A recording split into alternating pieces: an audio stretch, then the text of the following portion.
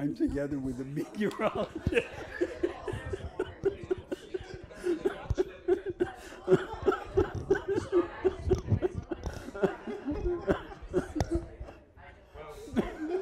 There are also the people who were saying that the Dow is going to 30,000 or something.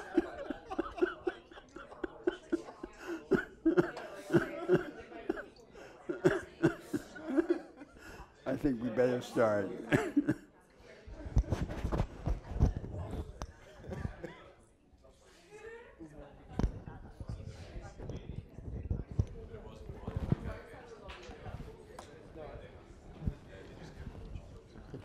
Okay, let's go ahead and get started. We hope you had a wonderful spring break, and we very much look forward to moving into this next stage of the course. So, as you know, it is in this next stage that we will be turning to the next major philosophical and religious movement that we will be wrestling with. And to introduce this, let me give you a very quick narrative of world history that this course is in part designed to reject. That quick version of human history would go along the following lines. All human beings, for all of their history, were stuck in these things called traditional societies, which were these worlds in which they were born into a certain social position. They had to do things like rituals that would socialize them into believing in a certain worldview that they had no individual choice to accept or reject. And in those traditional societies, therefore, their lives were determined entirely based upon their social position they were born into and these rituals that socialized them. And somehow all of human beings lived in these worlds for tens of thousands of years until, luckily for world history, Europeans, exclusively Europeans, in the 19th century broke from these traditional societies, creating a modern world based upon notions of individualism in which everything would be defined by the individual who would of course have freedom of choice to choose what to do in their lives. They could choose what religious beliefs to hold or not believe. They could choose where to, what to do with their lives. They could choose their careers. They could choose their political order because they had self-interest and they could work with others according to their interests and build coalitions. And you would have marketplace situations in the, both the economy and the political sphere that would give that freedom. And of course, a part and parcel of this great modernity is that we got rid of those horrible things called rituals that again told us what to do when we lived in these traditional societies. Now, one of the many arguments we have been making in this course is that narrative is an incredibly dangerous restrictive way of thinking we have, over these past few weeks, been attacking it from the direction of this notion of individualism.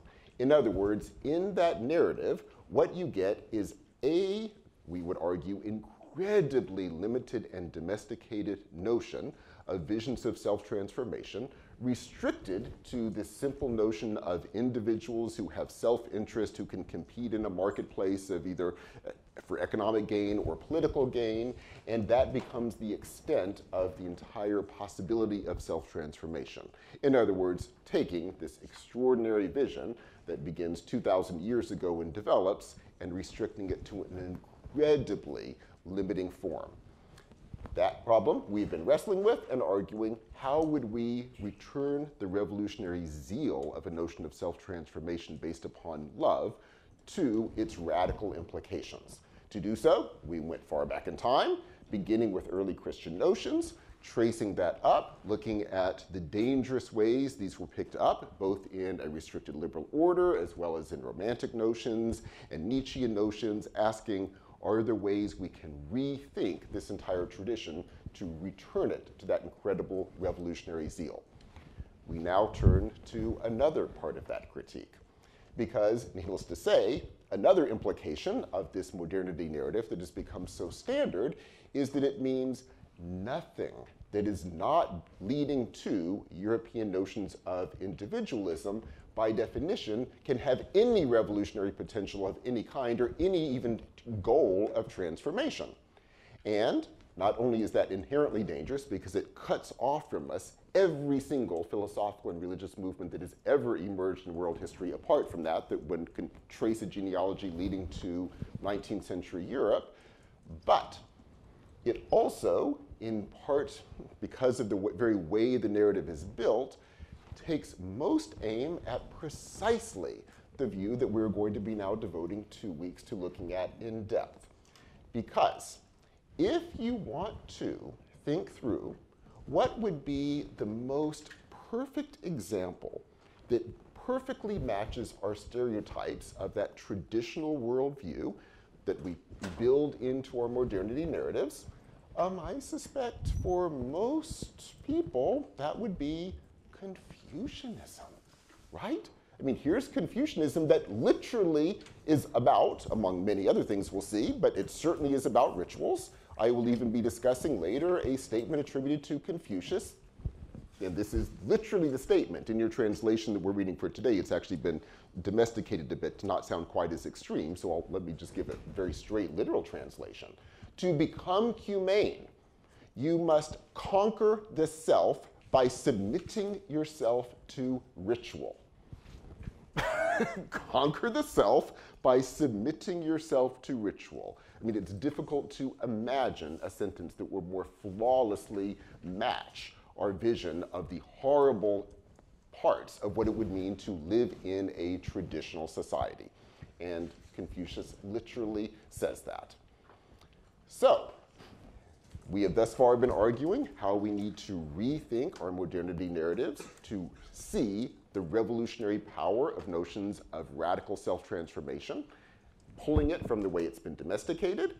Here, we will be doing it from the other side, which is to say, what about those other movements that emerged at roughly the same time, mid first millennium BCE, and then continuing, that were also about transforming the world, but in this case, as we will see, through a very different understanding of what that would mean, where it would take you, and practically what the implications would be. So, Today, we will turn to Confucianism and do exactly what we have been doing these past few weeks with the vision of self transformation, and before that, of course, with Buddhism. Look at how the ideas emerged, what those ideas were in their most powerful form, how they were institutionalized in ways that are potentially exciting and yet clearly very dangerous in terms of how they were domesticated. And we do that exercise because it will hopefully help us then to think what would it mean to revitalize them today in ways that would hopefully build on the potentials and yet avoid the dangers that we can see historically have also played out. To do so, let us jump back to mid first millennium BCE, where to, rem- to remind you of this key moment in world history. We are at the moment when all of these old Bronze Age hereditarily based societies are beginning to break down. Now, when we go back to our narratives of traditional societies breaking into the modern, um, it's not that there have not been societies in world history that match our definition of a stereotypical traditional society. And indeed, among those that pretty closely, flawlessly match it would be these old Bronze Age societies. So, as we noted earlier in the course, for about two millennia, Eurasia was dominated by huge hereditarily based Bronze Age aristocratic societies. They were indeed defined entirely by birth. You would be born into a certain social station, and there you would stay. There was virtually no social mobility of any kind whatsoever. The entire religious sphere was defined by that hierarchy, meaning that the kings would work exclusively with a set of priests who alone had access to the highest powers that would therefore keep the kings in power as well as the entire aristocratic order. And it pretty closely matches our vision of a traditional world. We also noted it is in the mid first millennium BCE. For various reasons we don't need to de detail again here, that all of these Bronze Age kingdoms across Eurasia collapse. And in the midst of that collapse, you get this fluorescence of philosophical and religious movements, as we've noticed many, noticed many times, um, even our terms, philosophical and religious, almost don't capture the power of these movements, that were attempts to radically rethink the world. We have now seen two of these. One, the Buddhist tradition, the other one that, co- that comes out of the farther end of Western Eurasia, we looked at particularly in the form that it took in Christianity. And now we turn to the eastern end of Eurasia, where at roughly the same time you have figures like Confucius, Mencius, Xunzi, Zhuangzi, roughly the same time, also trying to radically rethink the world, calling for radical transformation, but as we will see, they mean transformation in a different way, based upon very different understandings of what change means. And our goal here today will be to try to understand what they meant, to try to take it seriously, both in terms of how it could challenge our assumptions and to wrestle with it. To take it seriously means we will wrestle with it and see its powers and potential weaknesses. So let us jump in and let us jump into that quotation that I just mentioned, which indeed is attributed to Confucius, and boy, does he mean it. Submit yourself to rituals, and when you do so, you're conquering the self. So let's talk about this. Let me begin with the self that you're indeed conquering in this way of thinking. Then I will turn to ritual, that as we will see, not surprisingly, given what we will have seen about, about, the self, will actually mean something a bit different than we tend to think of ritual in our standard modernity narratives, and what it means, therefore, to think of transformation along these lines. So let's begin with that self. So, in the early Chinese tradition, which will come together in Confucius as well as several other figures, including figures like Zhuangzi, etc. This is before there are clear schools of thought in China, so these are all building on each other. In these early thinkers, what are you? Do you have, to give a not random example, we've seen it repeatedly in contemporary standard American assumptions about the self, do you have some true self lurking in there at birth?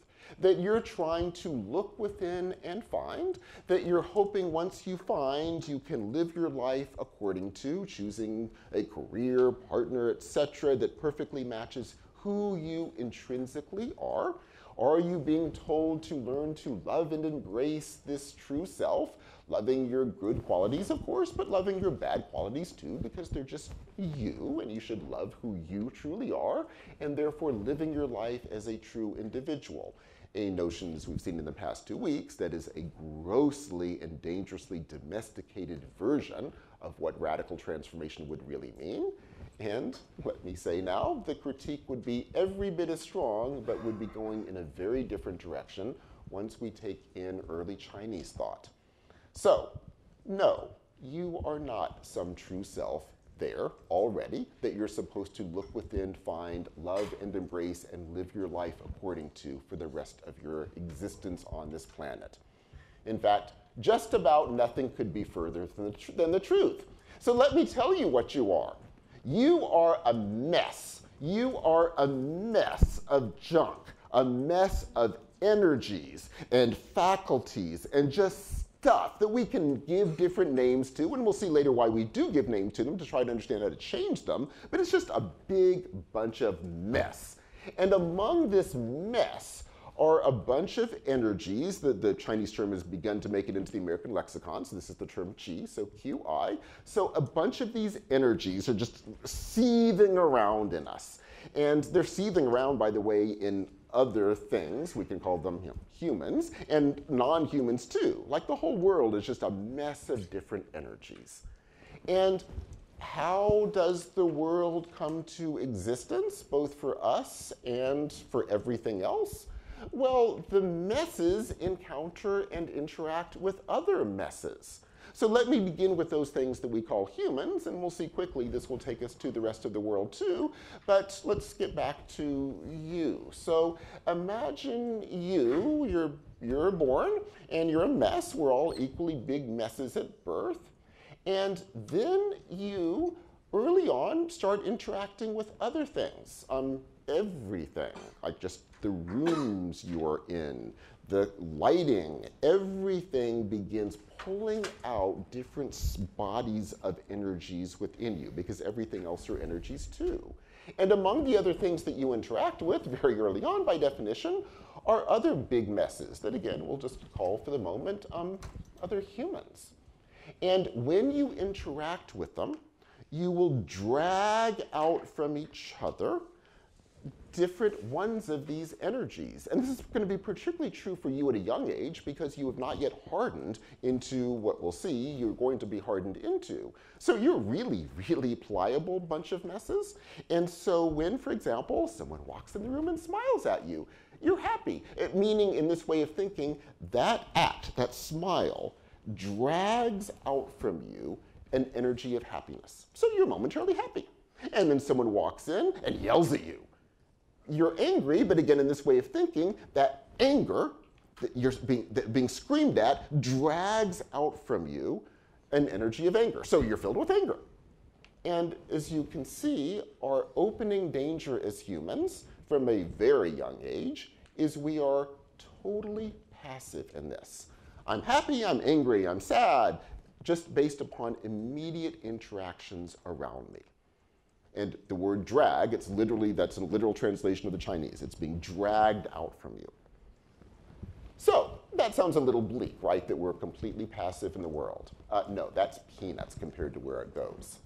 Because very, very quickly, we cease to actually respond to things that we're actually interacting with so at least in my example so far, like the person does smile and the person does yell, and so I, I'm actually at least at the minimum purely passively, but at least passively responding to someone yelling and, and smiling. Well, very early on, we fall into habits of responding. And so, someone smiles at me, I'm happy.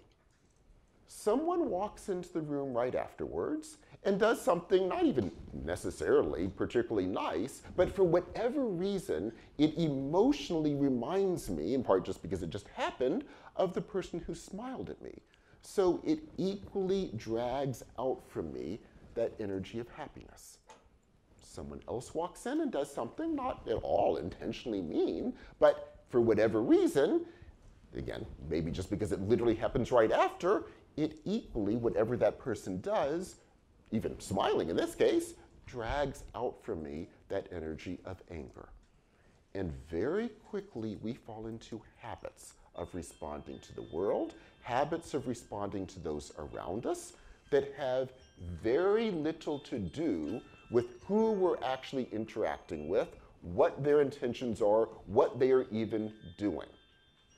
Those habits become so part of our mode of being that as we grow up, they become intrinsic to how we interact with the world.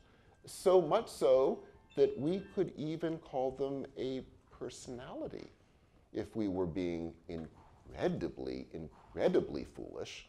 We could even think of it as a true self because it so defines how we live our lives. When they say this, they mean this in a strong sense when you walk down the street, it is stunning, and we'll get later to how they know this and what they're going to argue to, to change this, but their argument will be it is stunning how little you actually see. It is stunning how little of the world you are actually seeing when you live in it. And when it comes back to those other messes that, again, we'll just provisionally call other humans, it is amazing how little we actually relate to anyone. I don't just mean distant strangers. I mean, from this way of thinking, in fact, even more dangerously, we, as we will see, those who we foolishly think we are closer to. So, given the way these patterns set in, you would not be surprised, but will undoubtedly be horrified to hear, it's often with those you are most involved with close family members, friends, loved ones that you become embedded in the most extreme versions of these hardened patterns.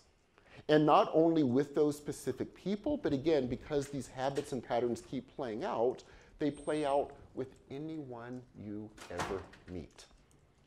Now, if you're thinking this sounds overly bleak and this couldn't really be the case, um, there are many arguments I can give to show the degree to which it is. Let me just begin with a kind of obvious one.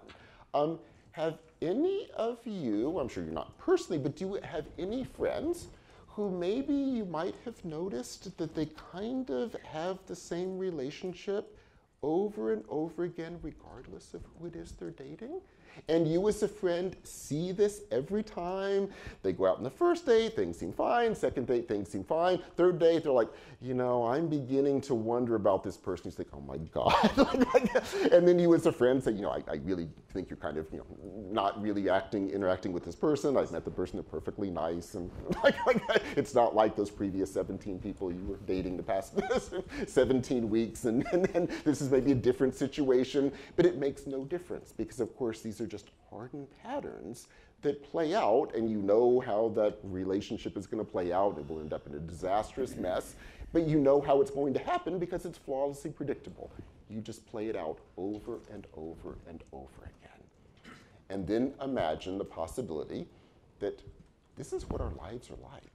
We are just these machines that play out these habits and patterns over and over and over again throughout our entire lives. And if this isn't, sounding bleak enough already, let's keep going. so I've so far been talking about us and our immediate interactions.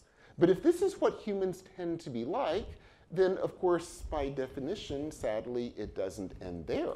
Because these habits and patterns can become embedded in entire social worlds. And not just will we personally continue patterns for our lifetimes, they can become embedded in entire societies and continue generation after generation after generation. To give you a not random example from the time in, in question here, for about two millennia, as we have already seen, people lived in these Bronze Age hereditary societies with virtually no social mobility for two thousand years, where the patterns are just so embedded that if you're born into an aristocratic family, uh, of course, you're an aristocrat, and those below you are below you. And if you're born a peasant, you're a peasant, and, and those above you are aristocrats. And it's amazing the degree to which that just becomes our lives. In that case, for 2,000 years. Now, that's their problem. Um, needless to say, we have the same problem. Let me give some obvious examples. So, we live in America. We're good liberals, right? We have no discrimination. we, we, we, we treat everyone as good individuals, and as long as they are being true to their true self and loving and embracing who they are, we respect them as true individuals, and we support them in what they all want to do, right? Um, well, sadly, um, as we know very well, despite that claim we love to tell ourselves, if you look historically at any possible indicator, and let's just give some obvious ones social inequality, income inequality, they are at levels not far off from where they were, say, let's give an extreme example from, from historical experience, 18th century France, where you had a purely, again, purely hereditary order. Everything was based entirely upon birth, an aristocratic class that controlled all land and wealth, everyone arrayed in aristocratic uh, uh, um, sets below, no social mobility. Our levels of income inequality and our levels of social mobility are about the level as they were in 18th century France. That's actually historically true. You might think, okay, well, um, at least we can see problems in America and alter them. So, what about the fact that, you know, look at, at America in the 1960s? Uh, women, for example, had almost no chance of having a career, and we've changed that, right? Well, let me give a simple example. You know, we're all in the educational sphere. Um, if you look at the educational sphere, I actually tried this as an experiment, by the way. If you asked people, and there's a growing realization of this, but up to about five years ago, if you asked people and said, um, do you think there's a gender problem in, say, hiring in higher education? Like the, the fact that faculty all seem to be kind of white and male? And the answer is almost across the board, was almost across the board a few years ago. Um, well, yeah, I think we still have a problem, but we're just getting better and better, so we're working on it. You would hear that over and over again. Let's again look at statistics. So in the 1970s, yes, laws were put in place that made it illegal to overtly discriminate. because of those laws, you see a little jump in numbers of female faculty being hired. That's true. Still pretty low, but it, there is a jump. Then, in terms of that claim, things are getting better and better. Um, no, it is flawlessly flat from about 1979 until today. Flat. Flat. And most hiring committees in most faculties are honest, good liberals in their own self understanding. Needless to say, however, when it comes to hiring decisions, they have, to use this terminology, patterns and habits that play out. And needless to say, we can continue these examples. Race discrimination, religious discriminations, discriminations of all types that just continue generations after generations after generations, even in self-consciously claimed liberal worlds. So, the patterns, in other words, can continue even if you do not have, as you had, for example, in these Bronze Age societies, religious worldviews that said, yes, it is religiously pre given that you'll be born into a station of life. Um, in America, that isn't the claim, and yet that is absolutely the practice. In other words, these patterns play out regardless of some worldview. You can have a liberal worldview, and the patterns play out just in the mundane way, ways we see people, we relate to people, it's by pattern and it's by habit. So, that's the world we live in from this point of view. If that might be, possibly, an accurate description of some of what we humans sadly are like, um, both at a mundane level and to the degree to which these can become embedded in social worlds that can continue for generations and we can see over the span of world history, centuries and millennia. How do you change it? Well, now we get to part two of the challenging ideas, possibly the more challenging of them, ritual. So, from this point of view, as we've already seen, this isn't a question of belief, right? Like even in the example we just had, liberal America, you can believe you're a nice, good liberal and still in your life practice be horrifically discriminatory. There seems to be zero problem there. And so simply telling people you should be less discriminatory, it's important to say that, in the 70s it was good to have those laws put in place, but they're in themselves inadequate. So what do you do? If this tradition is right in saying these habits and patterns are so embedded in our just mode of being in the world at the most mundane ways that we talk to people, form friendships, everything, then, according to this way of thinking, that's where the change has to begin. And how do you do it? Yes, you do rituals. Now, you might immediately say, but wait, how could that possibly solve the problem? Because wouldn't rituals just socialize you into different patterns, which from this point of view would hardly be better. In fact, it could arguably be worse because if you're doing a bunch of the same rituals socializing you into one way of being, it would couldn't it just you know, make the problem, if anything, much, much worse? Well, needless to say, we have to look at what they mean by rituals. Let me begin with a very specific example that they will give, and then I'll work out the larger implications. So let me begin with an example from the early Confucian tradition. So let's now remember the patterned world they're dealing with. We will be dealing with, well, I'd like to say pa different patterns. Sadly, most of these patterns, sadly, are very much part of America today. But let's begin with their patterns as they would put it. So they are dealing with a world these hereditary worlds of the Bronze Age are beginning to crumble, but Confucius is living in a day when they're still very actively there in existence, and the beginning part is something we know in retrospect. So, in this world, let's imagine you're a king, which in this world, it's still very much the Bronze Age hereditary world, means by definition, you are male. Let's also assume that you have a son, um, who by definition is male, but I emphasize that strongly because that means that he's going to replace you. And remember, of course, since everything is based upon heredity, um, you, as the king, are king for one reason, which is that your father died and you replaced him.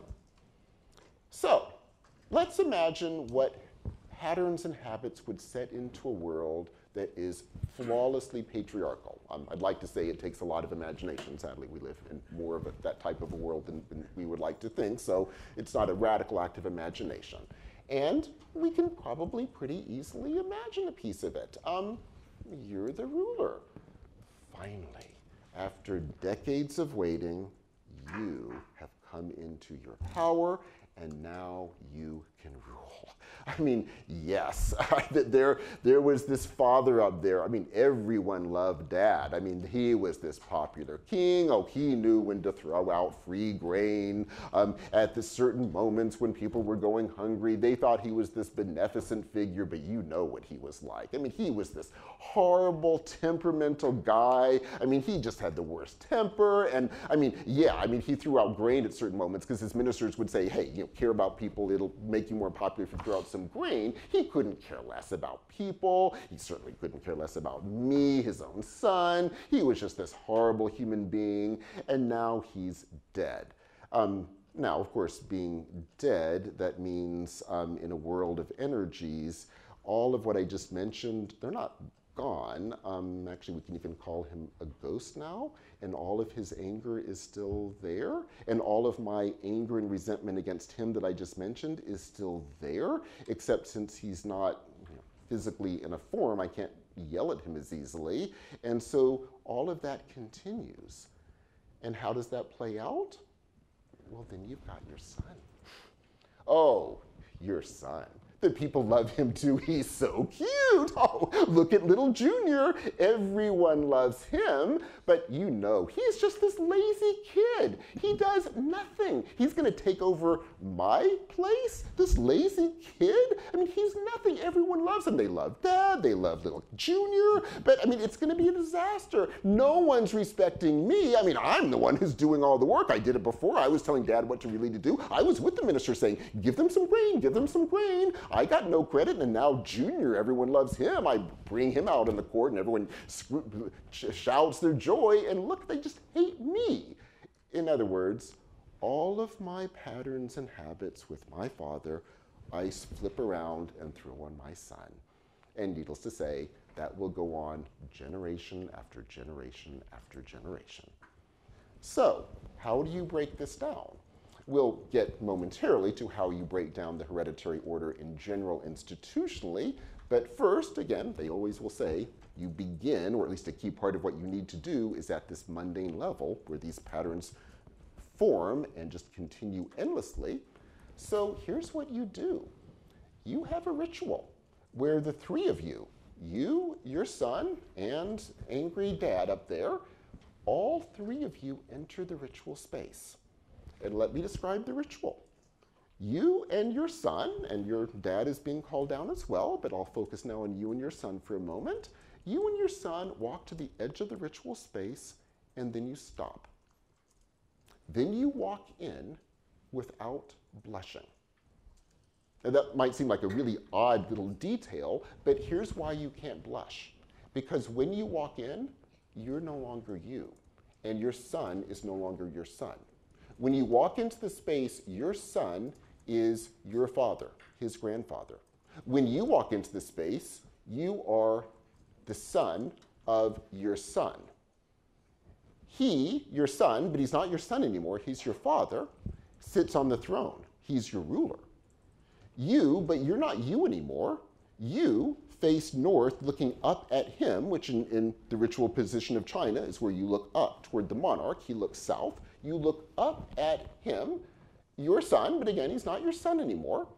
And you pay him proper obeisance, being subordinate to him as your ruler and your father. He, your son, but now he's his grandfather, looks down on you, who the person who was, who was just yelling at him two seconds before, get in this ritual, kid, um, suddenly, there he is, subordinate to you you, the son is learning from an intensely young age what it means to be in a position of power, the incredible sense of responsibility that comes from it, the incredible dangers of arrogance that can come from it, all of the worlds that he's been living in as the sort of receiving end of his father's issues. Um, he's now sensing because he's in that position. And you, again, you're the ruler, but now you're the son of your own son. You're looking up at him, uh, once again having to deal with your father, not your father as he really was, but your father as what he ought to have been, sitting on that throne. Once again dealing with him, but needless to say, the reason the ritual works is you have to look at your own son when you're dealing with your father again making it painfully clear, not just conceptually, not even remotely conceptually even, but emotionally in terms of your energies and dispositions, you are seeing, in a very literal sense, how these patterns are playing out. And you're being forced to see what it's like yet again to be back in that position of the subordinate one in a patriarchal order looking at a father who controls you. Then you get up and you walk out of the ritual space and you're back to being you and your son is back to being your son and you can finally yell at him again and blah, blah, blah. But then you go back. And this is one of a myriad set of examples of things you're doing all the time. These rituals that, as you can now begin to get a sense of, are all about forcing you to shift your relationships with those around you. In the sense, literally a direct set of role reversals where you are physically taking not just a different position than you would normally take in, in the mundane reality where you usually are, but in this case, the position with the figure or figures, including your father, with whom you have the most intense, in this part of your patterned existence, most intense set of tensions, and actively forced to live the world from that different perspective, but again, in perspective in relationship with the other. In other words, if everything is about these interactions, what the ritual is forcing you to do is physically interact with those that you were otherwise dealing with by rote habits and patterns in not just different ways, but oftentimes literally the precise opposite way of the way you usually do it. Now, why? if they mean, and they clearly do, that this isn't simply conceptual. Um, if the goal isn't simply that you walk out and say, oh yeah, I guess I am kind of playing out the same patterns on poor Junior that, I, that, that dad was playing out on me, um, and I should think about that. If they're right that that's not going to do anything to change your behavior in practice, then what's the goal of this? Here's the goal of this.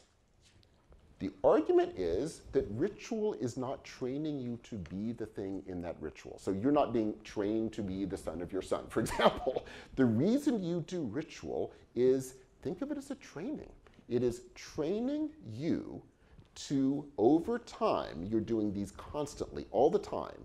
You're training yourself over time to begin to not respond to other things purely by patterns. In other words, think of the rituals not as socializing you into a way of being. Think of the rituals as training you to break from these habitual modes of being.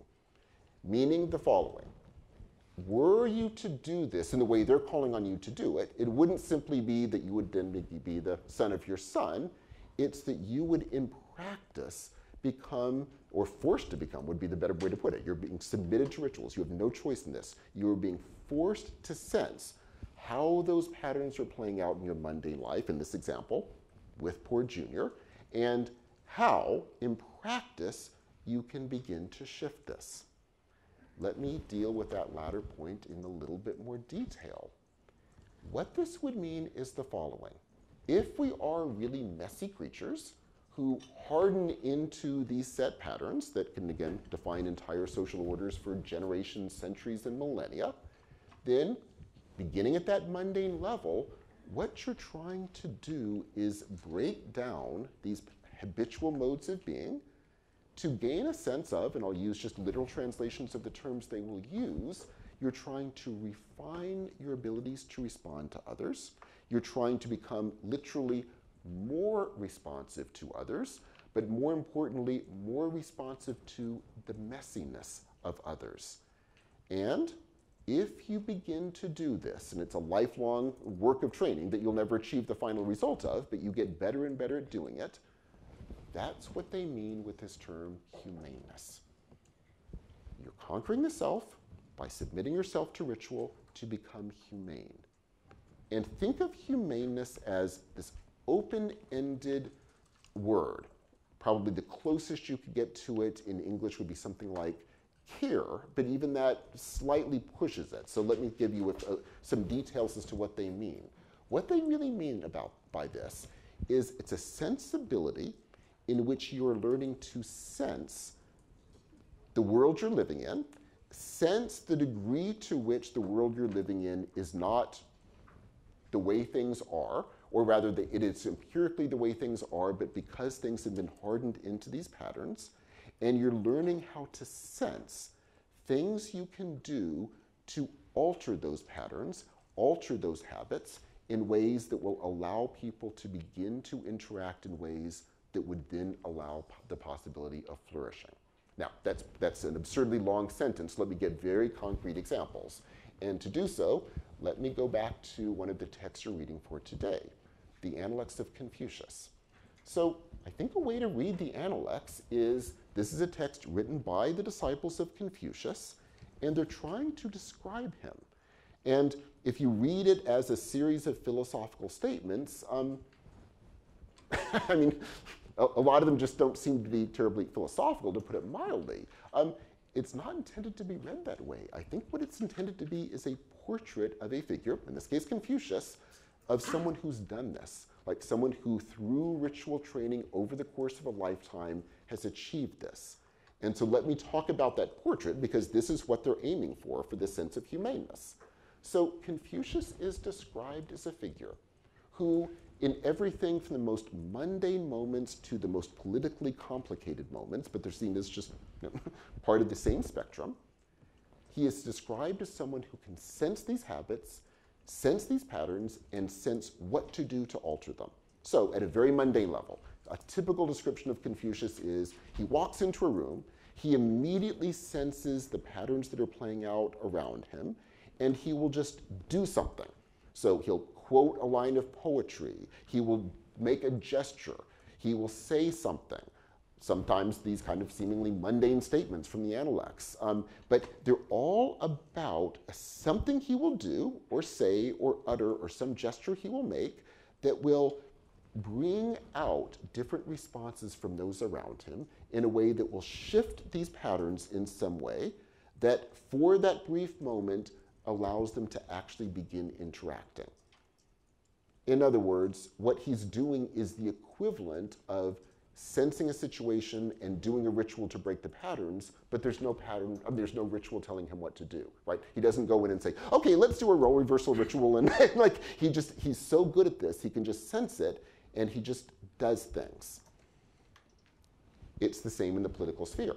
If he can do that at the most mundane level of daily existence, at the political sphere, it's the same thing. What are these larger patterns that are playing out? And what are the things we can do to shift those patterns, to break those habits, to open up the possibility of interaction. He himself, personally, is also described with another term that might seem kind of odd by our sort of typical stereotypic readings of Confucius, but I think it's a very telling one. The word that pops up over and over again is joyous. Joyous. And this is how they'll describe him too. Like when, in that example, he walks into that room and just does something, they'll say he's this just joyous figure. He's this figure that everyone kind of wants to, to be around all the time because he's just so good when he, when he walks into a situation at just doing something that brings people together. And suddenly you get this set of connections with people, and then these amazing things come out of it.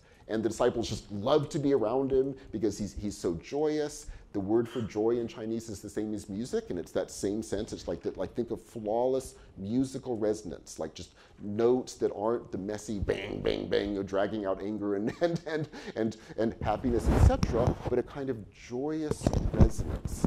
And the goal of this would be this is what we would be like, again, at this mundane level, as we achieve this humaneness. But then the argument is he's doing the same thing at a larger political sphere too, sensing what to do and sensing what to change. Now, let me say a few more words then about that larger political sphere. So, some of this might make some degree of sense for these most mundane levels that we've been focusing on here. But what about these higher institutional issues? Like, what about the fact that the ritual is assuming an hereditary society it wants to break down the habits of, but how do you break down an hereditary society at a more general level? Well, let's talk about how then political theory operates in Confucianism as well. Part of what I find intriguing about this tradition is it doesn't, and this follows logically from what we've seen, it doesn't operate by trying to lay out here is the ideal world that we should try to strive for. for. Um, it's all about, as you can see, what would it mean to be in a more humane world where people are interacting and where people are being trained and, and even forced in early age to be educated, to be trained, to begin the self-cultivation process. But it's very open-ended as to what that will mean because the sense is at any given society, there'll be different patterns that need to be worked on. However, there are some general pushes in the tradition. And one of those general pushes is one you can predict very easily, which is the tradition strongly pushes toward emphasizing education, training, and, and when you get to the governmental level, meritocracies. This push goes along the following lines. If you can get a society based not on heredity, but based on a meritocracy, but a meritocracy defined by those who are training themselves in the ways we have been describing. Those then are the people who will hopefully be able to sense what sorts of things need to be done to help everyone else flourish. And over time, the idea is, even if you have no one single sage, collectively, the more and more such educated people you can have, the better you're going to be at sensing problems and working with them. And the problems are always going to be in these senses we've talked about. How do you shift the levels of interaction such that, such that there is true humaneness? Again, think of caring, but caring, as you can see, in a much deeper, broader sense than the way we tend to use that word in typical English lexicon. So let me say a few words about these types of meritocracies that are formed in China, building out of this tradition, the strengths and their weaknesses, and that will help point us toward rethinking where we will be going in the future if we want to revitalize the power of this tradition. So, where this will take things in terms of institutionalization is the following. Over a span of literally we're going to be jumping 2,000 years here. so over the next 2,000 years, what you will get in China is successive attempts to build meritocratic regimes. Now, let me begin with the incredible limitations of these, but then turn to some of the powers of them that we could then hopefully take seriously. But the limitations are serious too, because obviously there, there are patterns they were horribly failing to see that if we want to revitalize these, we would need to wrestle with at levels they fail to do. So let me begin with the first most obvious set of extreme limitations. So I've mentioned gender before. Um, the Confucian tradition was horrible in terms of breaking through patterns and habits of gender. To give the extreme example, when I discuss momentarily how these full-fledged meritocratic regimes operated, um, only women, I'm sorry, only men could even be considered for these positions of power. So we'll discuss momentarily the civil service exam, which is the means by which you can enter the government in China. Um, you have to be a man to take it. So an incredible overt limitation based upon, from this point of view, habits and patterns they completely fail to deal with. Another clear limitation that we will see is that it is, as we will note momentarily, completely open access in terms of taking the exam. Anyone can take the exam as long as you're male of any ethnicity. So there are examples of people who were born in Korea, um, but they become educated, they take the exam, they enter the civil service, and move right up. So there's no limitations of ethnicity of any kind. However, you do have to be educated, and you have to be educated in the classical literary tradition of China. So that example I'm just mentioning, the person born in Korea, he's from a family that educates him in the proper Confucian classics that allows him to successfully take the exam. Number three, there's no attempt to build a mass education system. So it is up to the families to educate their children. And if you're from a wealthy family, you can do that. If you're from a non wealthy family, you would oftentimes either not do it or you might just choose a son who will become educated, hopefully to pass the exam, and the others will not. So, extreme limitations. But now let me say a few things that are fascinating about the way it worked, despite these incredible limitations. So, if you look at the span of world history up until the emergence of capitalism in the 19th century, probably there is no stronger example in that long world history of an overt attempt to break down hereditary orders than what you're going to see in China. And the way they tried to do it is along the following lines. They moved toward, and in the last several centuries, this was put into place, a system in which the only way to gain access to a political position in China, with one significant exception they were never able to change, but with that significant exception I'll get to momentarily, every other position was available only by taking something called the civil service exam. The way you would take the civil service exam is you would, again, become educated in these classics, but the exam was not trying to test how intelligent you are. So it's not like a contemporary American SAT, which is trying to, assuming some people are just more intelligent than others, and we're trying to find out how intelligent you are. On the contrary, the view is we're all messes, and the question is, are you training yourself or not? So it's aimed at testing the degree to which you are training yourself, yourself to see problems, work with problems, and shift problems for the better.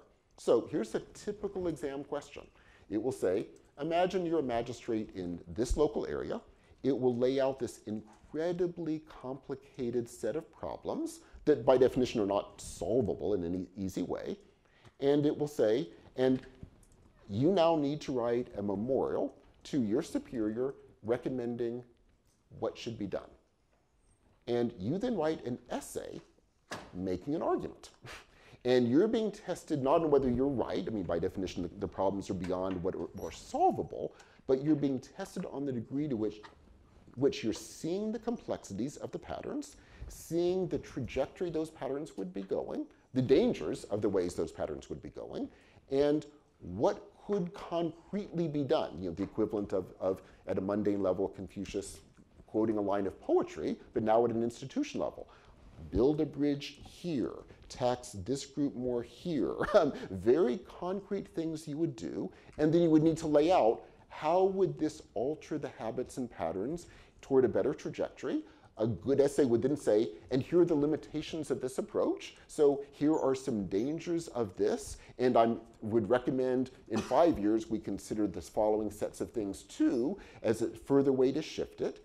And the criteria is always, are you seeing these complexities? Are you coming up with concrete ways to shift things? And when you shift things, again, it goes back to what you see in the analects at these mundane levels. The shifting means creating situations where people are able to flourish through interactions with each other. So the more you can break down pre-given hereditary orders, the better. The more you can break down pre-given systems of control, the better. Um, but it's always coming down concretely. You can't just say that in an essay. You have to, it's concretely. You know, bridge here, tax this group here, this here. It's very, very concrete actions. Now, the result of this is you do get, and it's our only example in world history, a system in which every position of power is obtainable only by this means with one exception. And this was a problem, you see this as early as Mencius. Mencius hated hereditary monarchy, and Confucians hated hereditary monarchy for the most part. I'll come back to an exception. Um, throughout the next 2,000 years, they were never able to get rid of hereditary monarchy. So you still had an hereditary monarchy, but every other position of power was obtainable only by taking the civil service exam. Now, one other thing I do want to say about this is part and parcel of this to make it work is you are as self consciously as possible trying to divorce, therefore, political power from wealth, however obtained. If you're born into an aristocratic family or if it's obtained through the market, either way, you are trying not to allow that to give you immediate political access. The danger being, of course, that political access would almost assuredly mean you would try to recapitulate those patterns. If it's an hereditary pattern, you'd want to keep it. And so, one of the goals of this system is you're trying to maintain that divorce. First, by hopefully having an educational and a training that's testing this, seeing if you are really being tra training yourself not to simply be a supporter of an hereditary order, for example. Also, in practice, what you would do if you're in the bureaucracy, they would have things like you would constantly be moved around. The idea being if you're in one area for too long, you'll probably implicitly and not even being, being aware of it, fall into local powder, patterns of power. And so you're constantly being moved, even though that means you're usually being moved into places where you can't even speak the language um, because there's no standardization of, of, what, of what would become Chinese at this stage. And yet that seems still better than actually becoming so embedded in the local arena that you would become part of those local patterns. So you get a self-conscious attempt to build a meritocratic order, breaking, not totally breaking down heredity, but trying to divorce wealth as much as possible from political power. Now, let me move then to a final concluding set of remarks, and then we will open up the discussion for the larger implications of all of this. What would this mean going forward? So, first of all, let me mention some obvious things and then some more challenging things. So, some of the more obvious things are the following. Um, to begin with an obvious example, we live in a world, by which I mean America, where we are currently living, that you could argue in terms of its unique definition of meritocracy, where the idea is precisely that it is through individualism defined in this limited way that we have been discussing that is seen as the basis of meritocratic principles. So, what I mean by that is the following you have an entire testing set of procedures, everything from an SAT to, to personality tests, that are all about aiming to find people based upon inherent things they have. So, are you intelligent or not? And you try to get rankings of that through things like the SAT. We have personality tests that will try to tell you what you are, all of which assume you are already something of a certain level of intelligence and a certain personality type. And the goal of the educational system is essentially to move you into proper tracks based upon who you are and how intelligent you inherently are. And then the so called meritocracy is moving from there. So you hopefully, if it's working, are getting the really intelligent people moving up and also moving them into spheres of life where they will be more successful. And if you can do that, then of course, by definition, the assumption is you'll have a so called meritocracy where people who are super intelligent and really, really good at their own area will be, by definition, the ones in charge of it because they're the best at it. And a concern with divorcing wealth and power is, if anything, kind of not only not a problem, it's, it would be seen as itself what you don't want to do because the idea would be well, of course you don't divorce wealth and power if you're a very successful figure in X part of the marketplace of course, through lobbying efforts, you should be able to rewrite regulations for the government because you know that market really well. And, and if you're really, really good in another sphere, of course, that sphere should be one you control because you're really, really good at that sphere.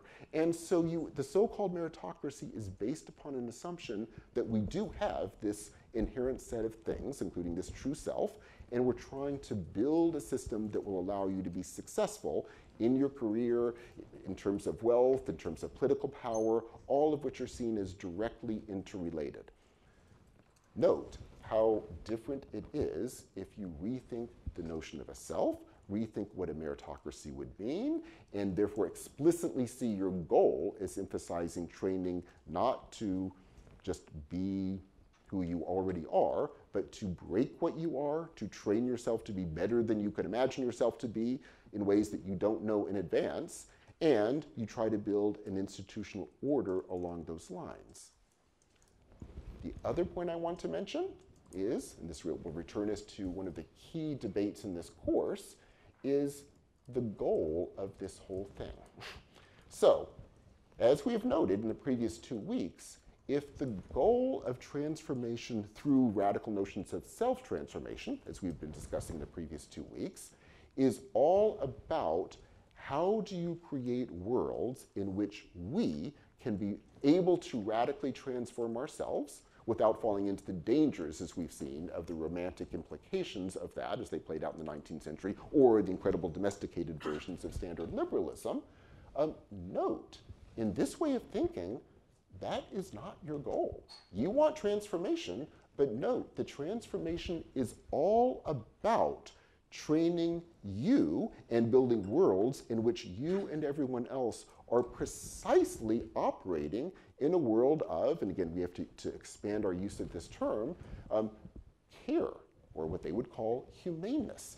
It is all about having, ideally, figures in positions of power who are best able to sense how to create worlds where people can flourish. But again, people can flourish is not as self transforming individuals, it's people can flourish in the sense of truly able to interact, or to put it back in the terms of early China, able to interact with each other as messes, which means as messes, supple, able to be responsive, but then trained messes, which means that we are supple and able to be responsive in ways that are not remotely selfish, but actually aimed at caring and working with others. And the vision of this is this is something you do in the most mundane aspects of your daily life, literally all the time, in terms of your immediate relations with others. And it's the same kind of work you're trying to do at a higher institutional level in terms of rethinking the worlds in which we are currently living.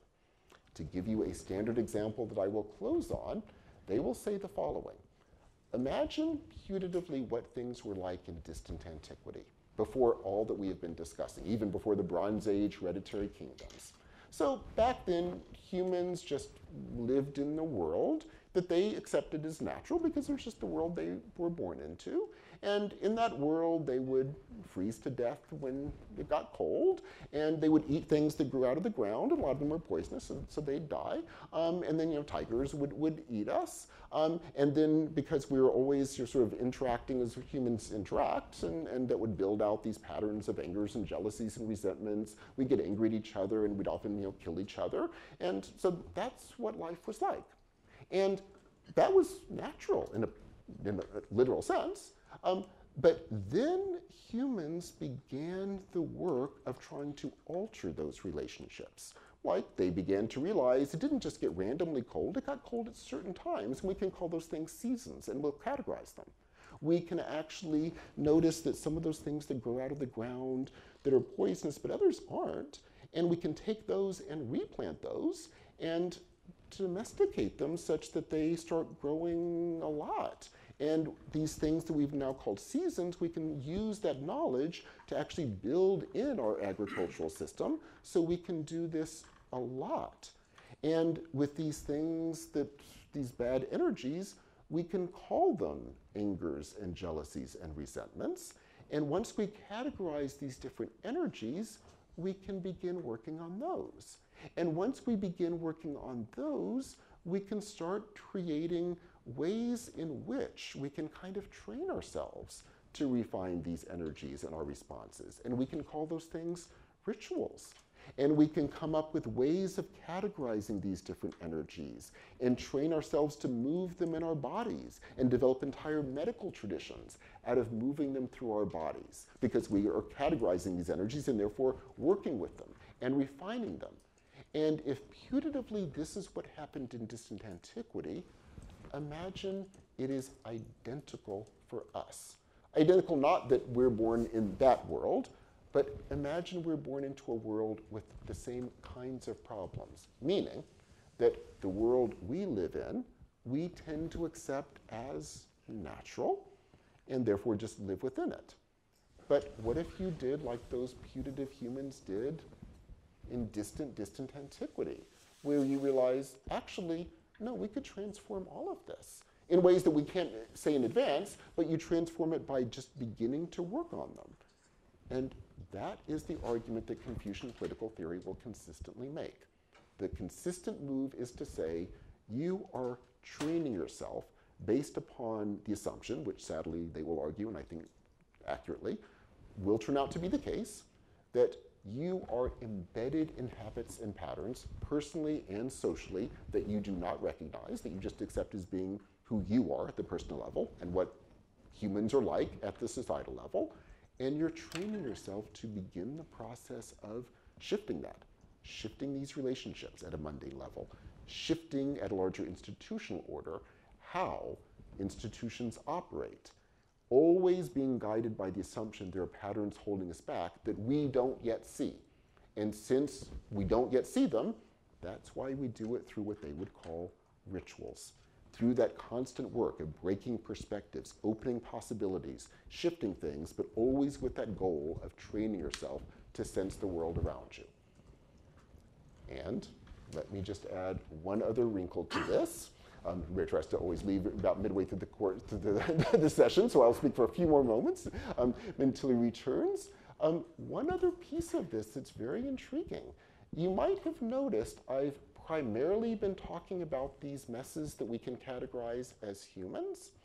Let me bring in one other thinker who adds another intriguing twist that will be very important in the Chinese tradition. His name is Zhuangzi. Um, it's not part of the reading, but if you're interested, it's Z H U A N G Z I. And Zhuangzi makes an intriguing move on Confucius. Basically, the argument is Confucius is absolutely right, but he's also right in the sense that he too had habits and patterns that he fell into and that led him to not see the full implications of what he was saying. And among Zhuangzi's critiques is to say, Confucius talked only about human beings and was only focusing on things that we could, in terms of the work of transformation, plausibly call rituals. And Zhuangzi's critique is we need to take his vision, which is absolutely correct, but dramatically expand it upwards and downwards. So, upwards, this would mean you do the equivalent of ritual, except you're training yourself to literally see the world from non human perspectives, too, to see how these energies are embedded in a larger world. And at a lower level, too, to the most mundane levels, things that would not even be what we could conceivably call a ritual, but he'll say, just the way, to go back to another example, he walked down that street, just the way you do daily activities, you're equally doing the kind of training work that Confucius would call a ritual. And this too would become an incredibly important part of the tradition. The idea being if it's all about training, it should be all about training, constantly breaking down those patterns, even those that a figure like Confucius, revered in the tradition, failed to see. So, with that is a very brief introduction to Confucianism. Let me turn things first well, to Roberto in a question, and then we'll open it up. Michael, I think I, I wanted to take the discussion in a somewhat different direction. Of course, absolutely. Uh, and, and I think that I, to be fair now into the class, I should postpone that to next week. Oh, okay. Uh, but let me ask you one question before we open up to the class. Uh, uh, you, you started your statement today with uh, a, a denunciation of, of the modernization idea. Uh, and one radical form of the modernization idea is Marxism. Right, absolutely. Uh, and uh, in China, uh, the birthdays of Karl Marx are celebrated, unlike the birthdays of Confucius. Uh, uh, and so, tell us something about this relation between Confucianism and Marxism. And what does it mean to be a supposedly a, a Marxist revolutionary governing the society in the name of Marxist ideas against the background of a Confucianist culture? What is this relation? What is this relation in theory, and what is its what is this relation in practice? Tell us something about that. Indeed. So let me just underline the significance of the question. So, what Professor Unger is referring to is the fact that right now in China, you have uh, a figure, Xi Jinping, who is both a self proclaimed Maoist, I mean, not just a communist, Marxist, but a Maoist, which, as we'll get to, is a, is a, is a very specific form of, of, of Marxism, and a Confucian, and is actively promoting both Maoism and Confucianism, which raises indeed many intriguing issues. I mean, certainly for, for, for China, but for us as well, in terms of philosophically how would you possibly consider bringing together two things that would seem as diametrically opposed as imaginable, and indeed historically were? So, certainly Mao, when he is undertaking the revolution, part of that move is to literally destroy all that we have been talking about, saying it was woefully inadequate, and literally the texts, including the ones you were, you were reading for, for today, are to be burned, the temples destroyed, um, and families were literally broken down to create a purely collective order. So, absolutely an all out rejection of everything that we've been talking about. Indeed, a figure Mao frequently compared himself to was a figure called the first emperor of China, who in 221 BCE had formed the first empire. That first emperor famously burned all the books, destroyed all the temples, etc. Um, however, it was followed by a Han Empire that then brought Confucianism back. And so Mao's frequent statement was, I'm like the first emperor, but unlike the first emperor, I'm not going to fail. In other words, I'm really going to wipe this world out. so, as extreme a rejection of everything we've been talking about as possible, and now we have um, a self proclaimed Maoist in Xi Jinping who is actively promoting Confucianism. So let's talk about what's going on there and philosophically what its implications are, because it has many, as we will see. So part of what is going on here is the following. So after Mao, of course, as we know, um, China takes a very, very different turn, um, beginning in the 1980s, but dramatically so in the 1990s um, China becomes one of the most laissez-faire neoliberal economies really in the entire world. I mean, much more so than America. So it becomes this radical laissez-faire capitalist system. Um, beginning with that, not surprisingly, is what we know from America, but, but, but dramatic in the self-proclaimed Marxist world, radical, radical income inequality. So you get for the first time you know, billionaires in China and a, I won't say impoverishment of the rest of the world because the government was trying very hard. and It's actually been very successful at pulling people out of poverty, but certainly not in trying to break down the kind of radical economic divide that those economic policies by definition start creating. Um, this began a significant pushback in China beginning in the early 2000s when people began saying, you know, we've, we've lost something essential, we've lost something that makes us Chinese, we've, we've become Americanized in, in the worst ways of, of just the pure American neoliberal system, much more so um, than America, and this needs to change. And a new left begins emerging in China involving self-proclaimed neo-Maoists saying now we need Maoist ideas that would represent the population standing up against corporate worlds that are now taking over the government. Um, and Bo Xilai was one of the major figures later sacked for corruption, but his major opponent was Xi Jinping, who very much continued the same argument with a crucial twist that will finally get us to the heart of the question. So when Xi Jinping rises to power, he very much rises out of a claim I'm going to stand up against this American style of neoliberalism that had dominated China um, for the previous decade. Um, he's a self proclaimed Maoist in doing so, so I represent an attempt of the people to break down this tendency that has grown of, of extremely wealthy individuals and corporations basically making government ineffective because they've taken over government policy and control regulatory policies, just as they do in America.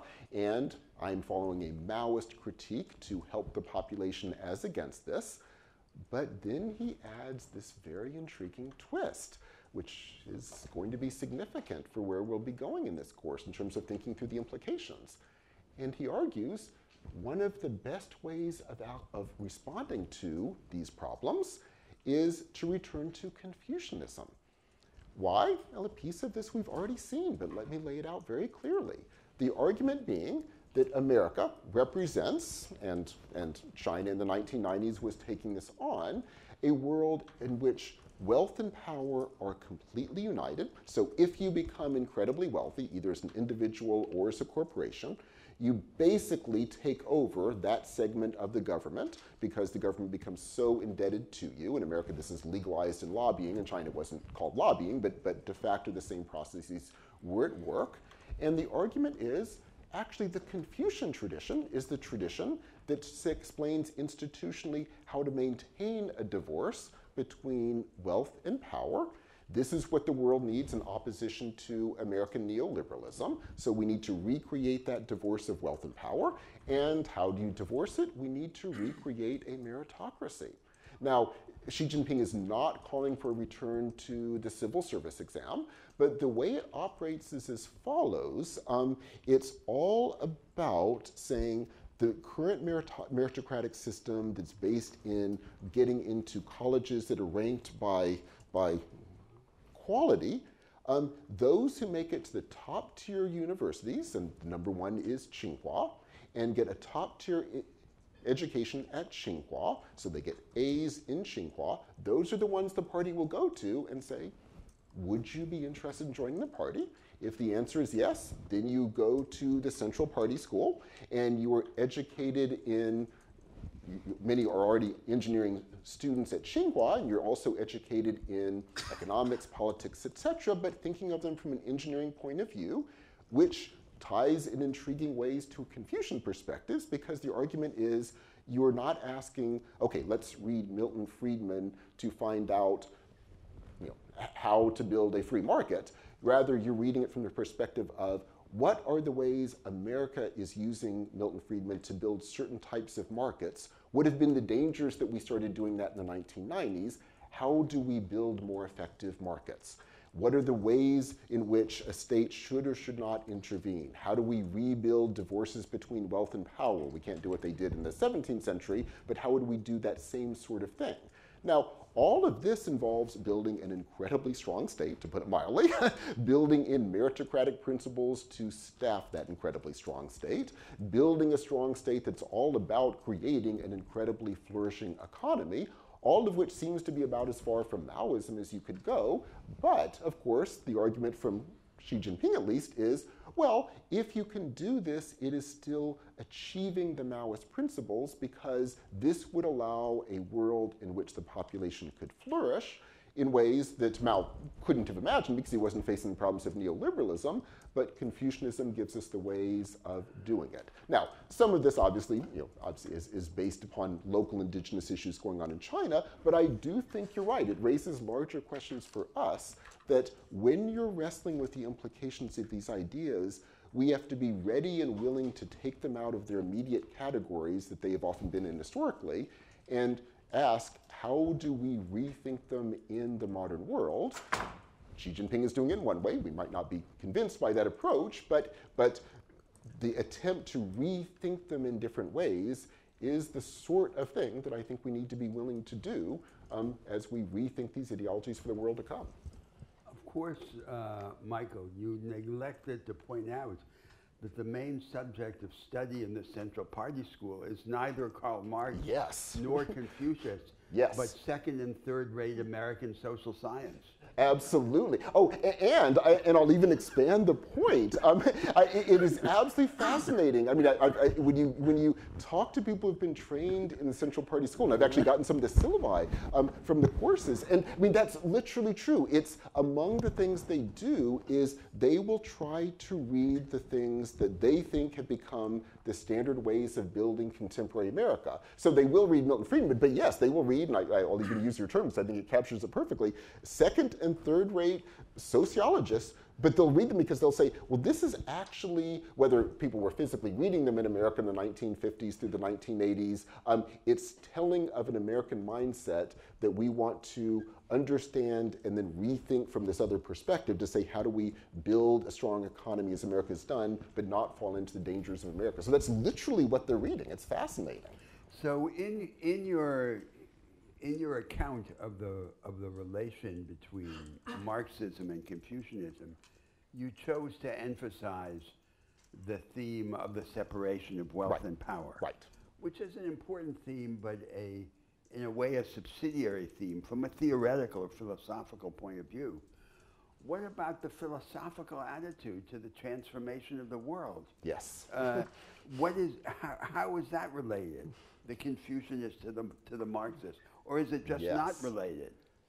Um, I, I mean, it may not ultimately be related, but it is to a degree, and I'll use that to, to, Well, to move it- to the bigger way of related putting in it. their minds? Yes. So the way it's related in their minds is the following. So I mentioned the critique of American style of neoliberalism. Let me make the larger argument about the way America is portrayed in the world order. So the larger argument is the following. Neoliberalism is seen as the, the post Berlin Wall falling version of what is seen as a two centuries long period of world history. In that period of world history, the world came to be dominated by imperial powers, England being the primary one, and then America is just seen as a continuation of the British Empire. And the argument is that neoliberalism is literally just the neo form of that same liberal world. And in that liberal world, the claim was it's a free market world where everyone can flourish, but in practice, what it meant was the British Empire doing free market work, meaning you, you go into an area, you, you take over local society, you allow corporations to move in, use the natural resources, and that's called the free market in 19th century imperial um, England. And the argument is America has basically done the same thing in neoliberalism, so same ideology, same, same uh, vision of imperialism, and that actually things like the United Nations, et cetera, are basically US based attempts to, to simply continue what Britain was doing. Now, the reason I say this in answer to your question is part of China's bid for world power is to say what we are going to offer the world is a different system. Because in that American system that is based upon states operating on behalf of, and to some extent even being controlled by, corporations and building an entire world order based upon that, what we are offering would be, and I'll emphasize for obvious reasons today, the Confucian side of this, what China will offer on the contrary is a vision of strong forms of statecraft, as opposed to the neoliberal claim that we're going to, to, to destroy the state and deconstruct the administrative state. On the contrary, you build a very strong administrative state. You build a strong administrative state that's all about building a flourishing economy, but it's aimed at not allowing incredible levels of social inequality. And then the claim is you can ultimately build a world that would be non-imperial because the imperialism of the past two centuries has been based upon one particular economic and political model that China would now be breaking. Now, needless to say, I'm not claiming that that, last part is what China's actively trying to do. You could easily say China's tr- trying to build another imperial order, but at least in ideology, the claim would be we will break down the American system of current world order that is simply a continuation of Britain, and the Confucian part is Confucianism gives us a guide of what that would mean. And that's why they'll emphasize this issue of, of the divide of, of wealth and power. And the revolutionary personality as a disruptor who humiliates the elders, those in authority, seems to be psychologically at the opposite pole from the Confucianist ideal. Or is it not? Well, not necessarily, because the way they will often put it, um, and you actually see versions of this in the ways that just uh, I've I've got to know some students at Tsinghua who went to the Central Party School, and they've described the way the classes cooperate. So the way it's often even put in the classroom is to say, well, remember what Confucius was doing in his world, which is trying to break down these hereditary orders he was living in, and we're doing the same thing. It's just that, that the American liberal order do, doesn't admit that it's a, an heredit, it's a, a basically an hereditary order without social mobility, but kind of is. And so we're doing the same kind of breaks he did. Now, getting back to the question, though, you're right, absolutely, and it's significant. They won't use terms like radical disruption, etc., because for them it's all about creating flourishing worlds that, not for Confucius, but later Confucianism involves very strong states and strong institutions. So it's not a language of radical disruption that's so typical in America, but they will say this would be trying to break down these hereditary orders and creating a world where people can flourish, which is seen as a, as a it's seen as a continuation of the work that Confucius was doing vis-a-vis the hereditary orders before him. But again, radically different terminology than radical disruption. Certainly, individualism is not the goal. so, yes. Well, I wasn't thinking of American individualism. I was thinking of Marxism. Oh, yeah, oh, absolutely. And, and, no, absolutely. If, if yes. incendiary and conflictual character. Yes. And of the contrast between that and the moral right. psychology of Confucianism. Right. As you described it. Yes. And it's also telling, I mean, not to take this down purely to the world of, of, of current China politics, but it's a telling world. So, it's, so I think it, it, opens up larger philosophical questions. I mentioned this, this issue between a Xi Jinping and a Bo Xilai. The, the latter, of course, was charged with corruption, and Xi Jinping later went on to, to power. But the very question you're asking was absolutely at play and was seen as such between these two. So Bo Xilai was not playing the Confucian card whatsoever. He was a self-proclaimed Maoist. I mean, a typical thing that would happen in, in um, Chongqing is you'd wake up in the morning and there would be a paper where Bo Xilai, leading the police, had charged into corporate headquarters of some big corporation at 3 a.m. Um, and said, I'm taking over this corporation for the people because you've been exploiting them. And, and literally then there would be a parade where people would sing songs that were obviously based upon Maoist songs from the Cultural Revolution for Bo Xilai. I mean, it's literally, I'm recreating Mao. Needless to say, Xi Jinping never has done anything like that. I mean, Xi Jinping, I'm sure you've seen pictures of him, he's, his, his whole stature is one of, of I am going to work to create a, a world where people can flourish and be harmonious. And he's, his, despite the fact that he'll call himself a Maoist, he very much takes on the, the patriarchal um, um, calm figurehead versus a Bo Xilai that's all about, or was all about, the, the I'm the radical Maoist, you know, leading the way. So yes, it's, it's a very telling um, local example of the very different personality types that animate these. Um, Xi Jinping is not seen as a disruptive Maoist in that sense, nor does he style himself. Yes. So let us open this up for, as always, anything, please.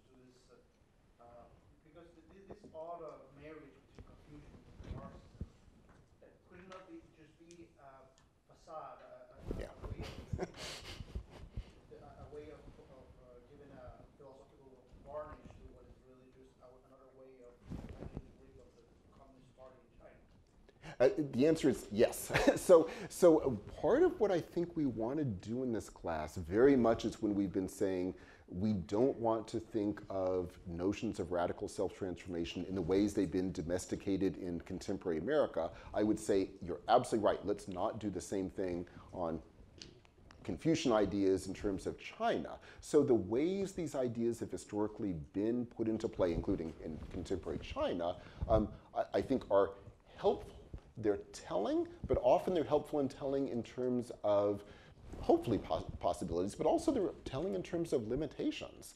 And yes, how much of what I've described as the ideology is really in play? How much of this is simply legitimation for, for a very autocratic state? I think is a very open question.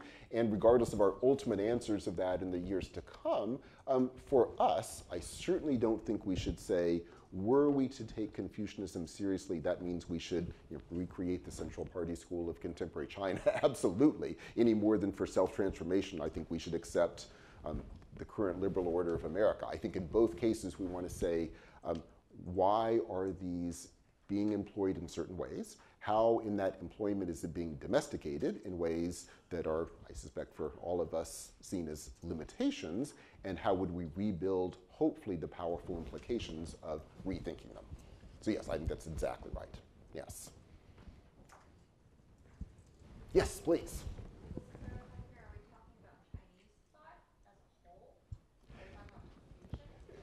Great question. So it's really Confucian, um, but it's also very intriguing that in the early period, those terms don't exist. So, so people aren't calling themselves Confucian. I mentioned in passing Zhuangzi, who doesn't call himself a Taoist. The term didn't exist at that point. So in the early phase, what you're getting are these attempts to rethink the world that will later be put together into entire sort of visions of what that would mean.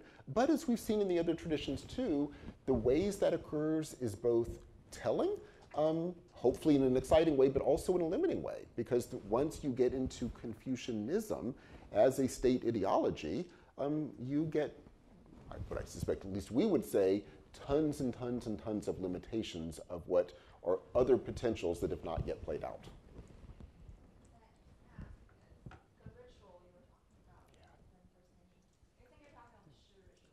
Yes, exactly. Um, so it, early on, yes. Um, then, but, but I, I, yeah, the reason for, for, for the expression is, is you're absolutely right. The history of this is so telling. Early on, yes. So, so, but early, what they're doing is they're taking an earlier version of this, the you can actually trace into the Bronze Age, that didn't involve the role reversal. So in the earlier version, you simply call down the ghosts, you call on them to be ancestors in this in the sacred space, and in that sacred space, you say, We're descendants, you're an ancestor, please support us, we will feed you, don't be a mean ghost to us, um, um, period. And it wasn't about you know, altering the dispositions of, of the living. I mean, it was about really trying to create these ghosts into supportive ancestors. So in the Confucian tradition, that ritual is then taken, it's then transformed into altering relations of dispositions primarily among the living, like the way they'll often put it in these Confucian texts is, well, if, to stick with that example, granddad comes down, great, hopefully he'll be transformed too, but even if he doesn't, like we still need to do the work amongst the living. So that's the Confucian version. Then it changes later again. And so you get attempts to even rework it, taking it out of the Confucian tradition and taking it out of the, the, the workings of living figures, which means you take out the role reversal. So that you get the Confucian version that does the role reversal, you get other versions that are still simply about feeding ghosts. So all of these continue. And I might add, just, just I mean, so that's an historical answer, but let me also make the philosophical point of view. Um, so essentially, what that history would mean from the Confucian perspective is they would say, we've taken what they would call a custom, a. So the custom would have been ancestor worship. We've taken that custom, we've made it into what we would call a ritual, which is about transformation of the participants, um, which was not necessarily the initial goal at all, or at least not at least defining the, the, participants differently, and they would say that's the real ritual. Then, when it continues without that work, they would say those other examples are still just customs, su. So for the Confucian tradition, ritual means this training of dispositions in terms of relations with others. Which, getting back to the heart of the question, does not mean all what we could call rituals in China fit this definition, but the Confucian tradition would call those customs, su. Yes. Great, please.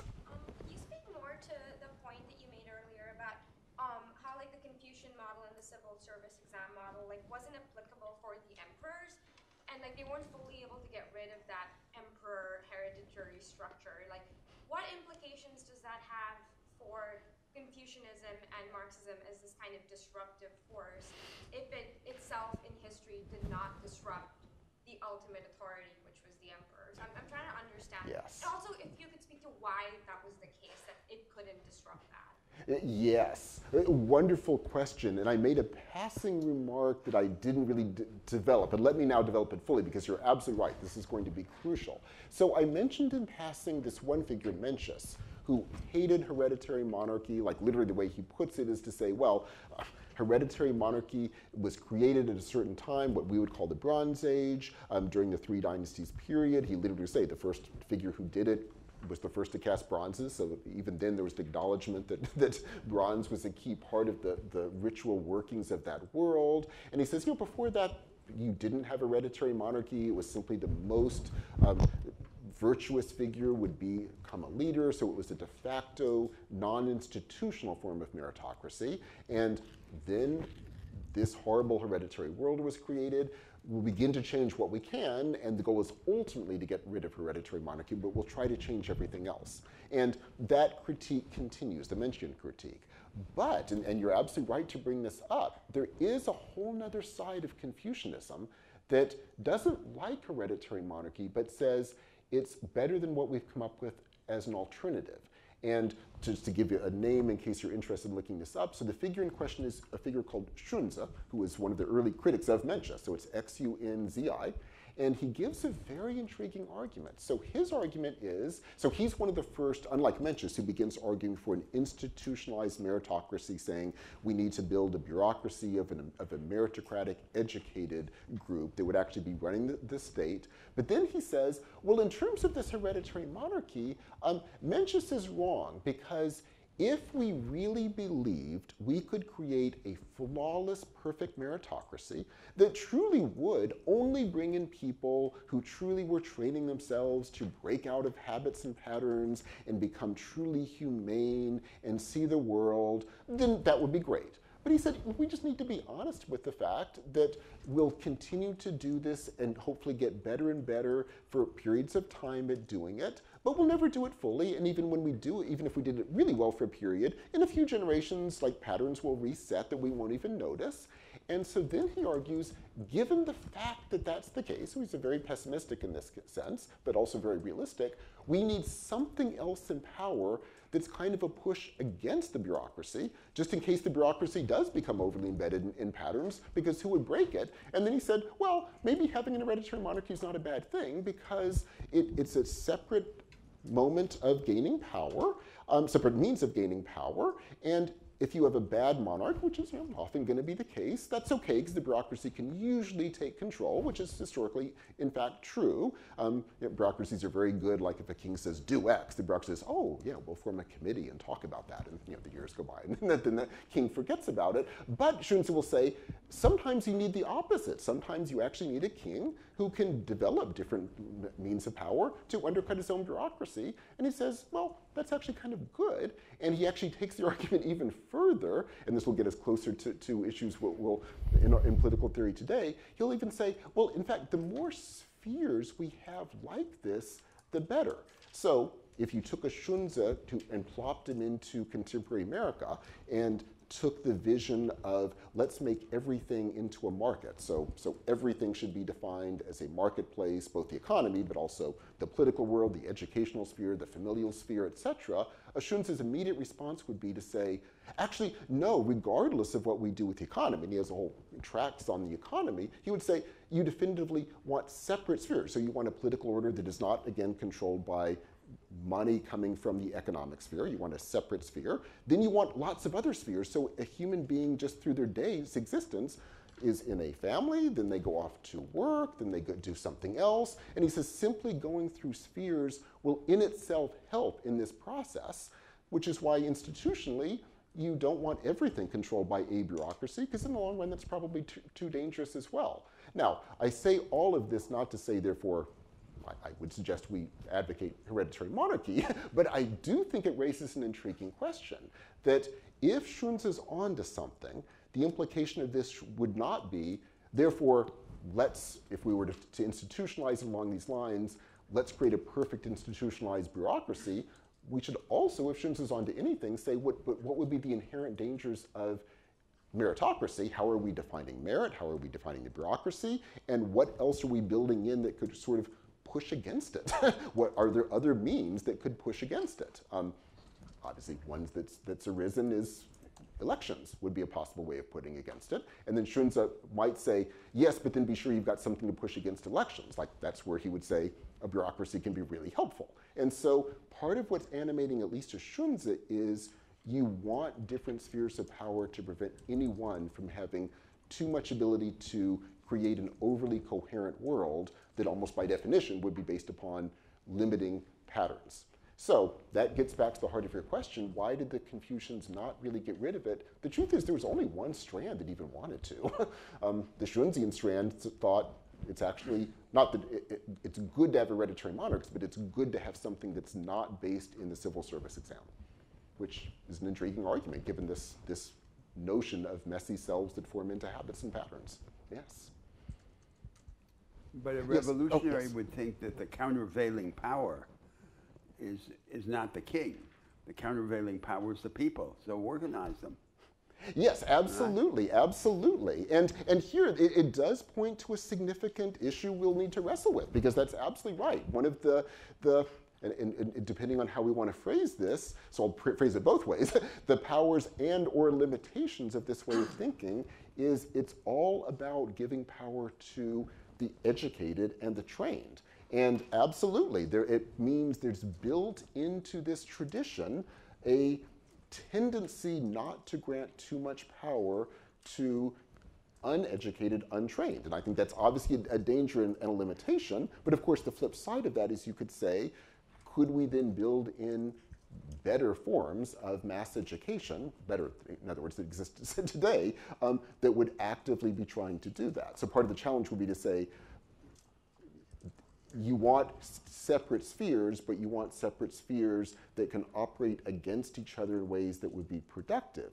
Now, I put it that way because, of course, if it's simply an educational sphere, I mean, this is what Xunzi would say immediately, if it's simply an educational sphere that has a pre given assumption as to how the education should work, which he would say is what the civil service would be aiming toward, he would say that's going to be a danger. Like it's good, but you want something else. So that, but that's something else he would want to be a different type of education, which again raises all the sorts of bigger questions. Yes, yes, please Andre, what thoughts are the Chinese political leaders getting by studying second and third rate um, social What, what? What thoughts are the political uh, elite uh, the, of China, the leadership getting that are incorrect?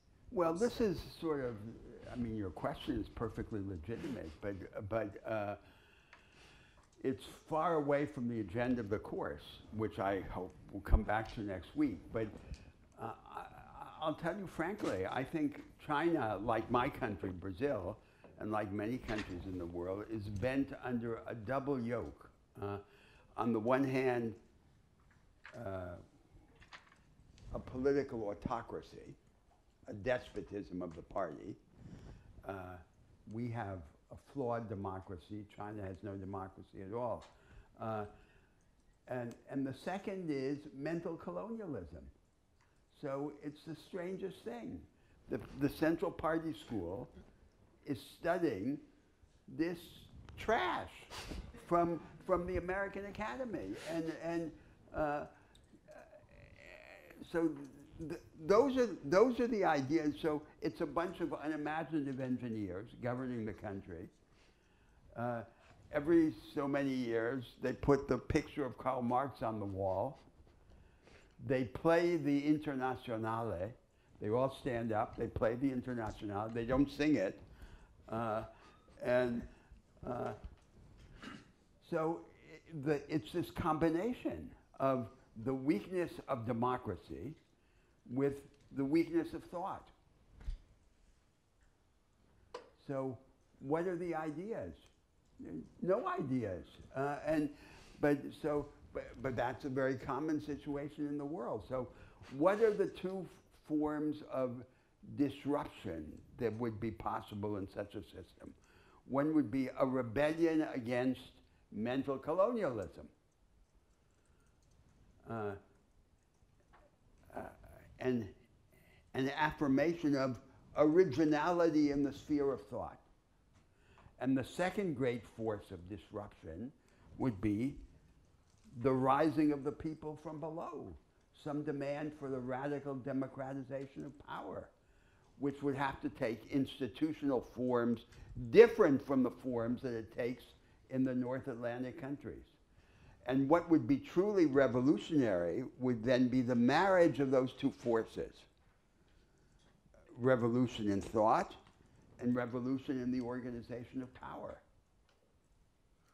Now, I think the kinds of things that they discuss um, seem to have no relation to that, to all of that. And that makes those other things, those forms of disruption, seem impractical. But it's not true. There is a relation.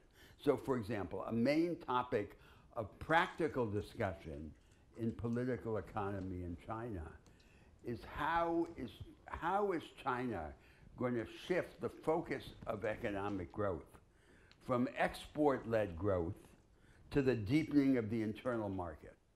And then the export led element will be simply a complement to production for the domestic market. Now, and this is what they call the dual circulation model. Now, the problem is that th- this transfer of the emphasis from export to inside is not a mere accounting operation. It's not just a technical reorientation. It involves massive redistribution among regions, among sectors, and among classes. And, re- and massive redistribution is always conflictual and therefore a threat to the, to the political order. That's why they can't do it. That's why they have trouble doing with it. So there has to be a national debate, a national conversation in some form.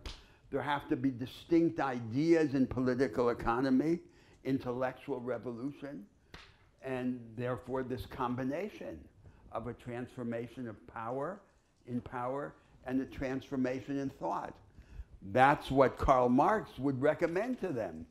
But uh, they're just putting his picture on the wall and, and, and pretending to genuflect to him. They're not following his spirit. So that, that's the answer to your question. Yes, please. Um, a few commentators have seen uh, some similarities between Confucius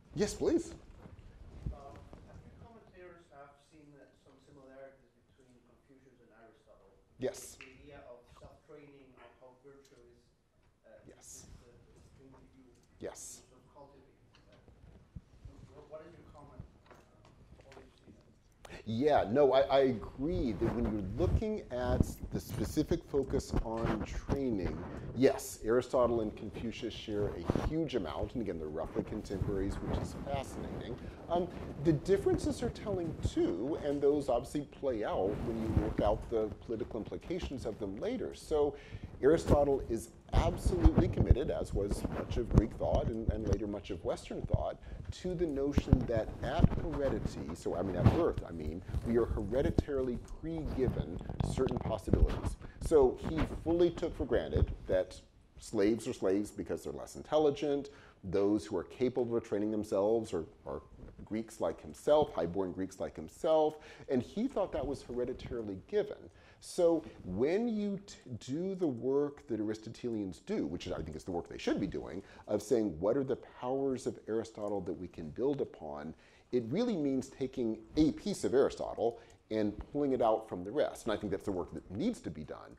Um, part of what's, of course, intriguing about Confucius on this perspective is there the claim is no, we, and by implication, everything is a mess everything that exists in the world is a construction, usually a construction made passively out of just passive habits we've fallen into, um, but it equally could be constructed actively. And although he doesn't work out the implications of that, the tradition is kind of based in working out what it would mean to construct a world more effectively. And so the kind of work that the tradition has to do with the Confucius is very different from the kind of work that, that well, not, not that it was done through much of the tradition, but current Aristotelians are doing with Aristotle. And the historical implications of that are powerful. I mean, if you look at the way Aristotle was read until the 20th century, um, none of what I just mentioned is really part of that discourse. Um, if you look at the way Confucius is read in the tradition, not to say that every reading is, is going to be convincing, but these are the issues they are actively wrestling with. So that's why, in terms of this course, we've chosen Confucianism as a key example of this way of thinking because with Aristotle sort of pushing it in this direction has really been primarily a 20th century move, whereas in China you actually have 2,000 years of active work. So it sort of gives us more to sink our teeth into in a certain sense philosophically. And ending on that comparative note, I think that's a perfect place to conclude today's session. So next session, of course, we will be then turning to trying to work out what it would mean to be taking these ideas that we've been stressing in the Confucian tradition and asking what would it mean to rethink them for the current world in their most powerful philosophical formulation, working out of the limitations that we have seen of the ways they've been institutionalized thus far in world history. Thank you so much and see you in two. Oh, yes, yeah. No, wait, no clapping yet. Wait. I'm going to begin with a different take on Confucianism, and then we're going to go from there. Good, good, good. so the debate will could begin with a different take.